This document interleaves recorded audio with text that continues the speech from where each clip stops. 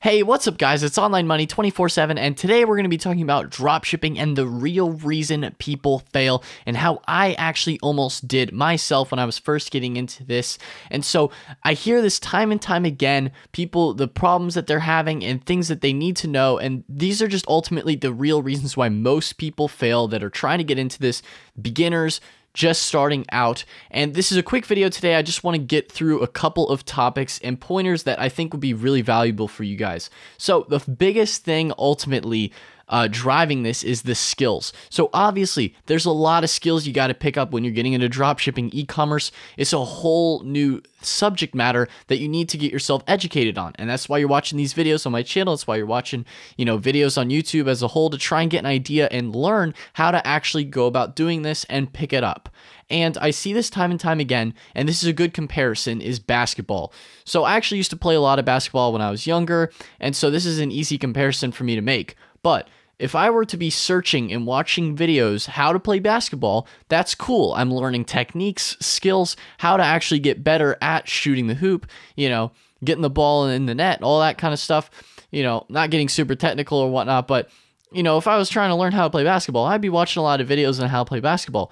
However, no matter matter, no matter how many videos I were to watch on basketball or how many books I would read and learn on basketball, it does not matter if I actually unless you actually do it.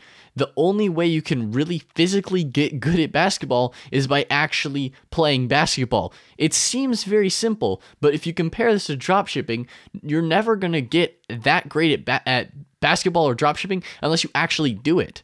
So that's the thing. You can watch so many videos, videos upon videos upon videos, read books upon books upon books, and this goes for any subject. This is any skill you want to learn, not just dropshipping, but you know, investing as well. Any kind of thing you're trying to get into as an entrepreneur, re- watching these videos, you need to actually put in the work and do it. And I know that this is so cliche, so many people say it, but if you don't actually get your hands dirty and all you do is read books all day and contemplate, you're never actually going to get anything done. So ultimately, you need to get your skin in the game and go after it because if you don't go after it and you're just reading all day, you know, watching videos, whatever, however you're learning, you know, that's up to you on what methods help you learn the best you know, at least with dropshipping, there isn't really books on dropshipping because, you know, it's it's a, a relatively newer thing. So there's really just videos on it. But ultimately, no matter how much you study, you have to actually do it to get the practice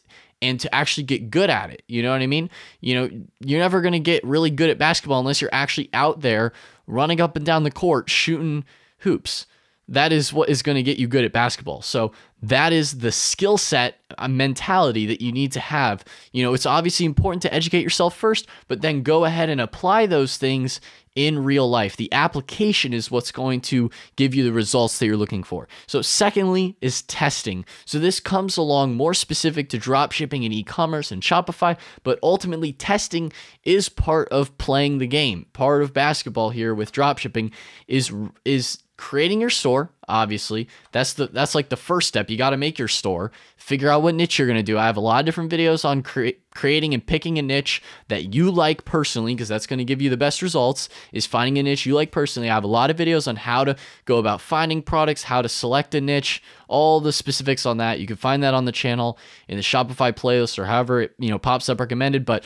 creating your store and then testing products through Instagram, Facebook. Those are just some options there. You know, you can run promotions on Instagram or Facebook or both. It just is whatever you find successful because there's a lot of different things you could do. You could even do YouTube uh, influencers, you know, maybe a beauty blogger on YouTube and you send your product to them and are like, hey, promote this. You know, you give them the free product. Maybe you you give them a percent of the commission.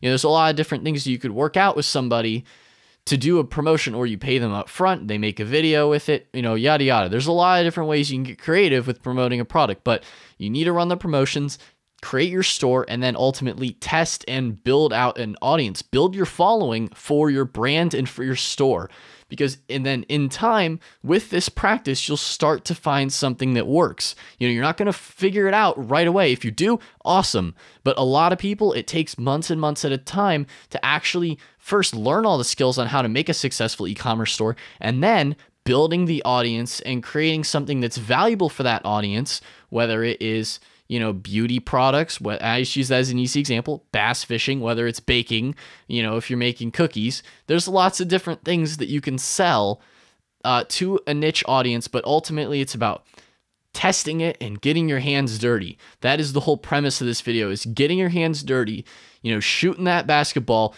into the net. The net is that profit with drop shipping. You know, you want to get that whoosh, thousand dollars. It's kind of a corny comparison, but this an easy way to understand it is compared to sports. You know, think about it like that. If you're not out running on the court, running down the field in soccer, something like that too, you're never going to really get that good. So you got to just jump into the water, make your store and get going, get the ball rolling, get your hands dirty. So if you have not started your Shopify store yet, this is the this is the video telling you you need to start your dang Shopify store, and I have a 14 day free trial link down in the description box below. If you want to support the channel, that's what you can click. But if you have not subscribed, what the heck are you doing? Subscribe, hit that notification bell as well so you get notified for future videos, uploads, and all that good stuff. Leave a like. Comment down below if you have any questions, comments, concerns. But anyway, guys, that's all for today's video. So I will see you in the next one. Peace out.